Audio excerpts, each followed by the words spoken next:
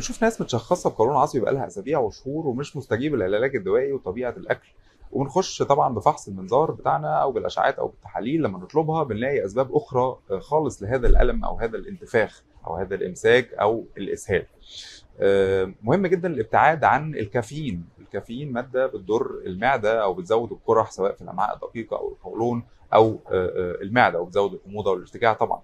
الابتعاد كمان عن أي مواد حافظة زي الحاجات المعلبات أو الأكياس أو البطاطس المكيسة كمان لأنها في مواد حافظة بتهيج من القولون وبتؤثر سلبيا على أعراض القولون العصبي.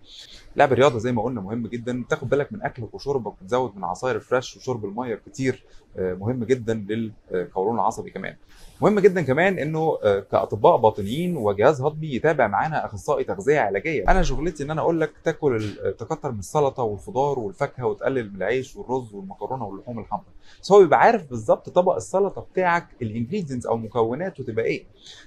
من توم أو بصل أو حاجات بتسبب الانتفاخات زي البروكلي أو بعض الورقيات الخضراء اللي بتسبب الانتفاخات كمان.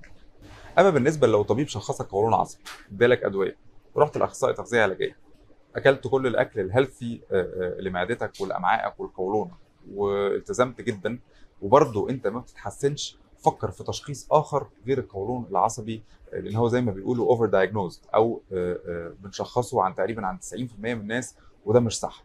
إن في اضطرابات أخرى ممكن تصيب الجهاز الهضمي غير جرثومه المعدة وغير القولون العصبي وتكون مستخبية.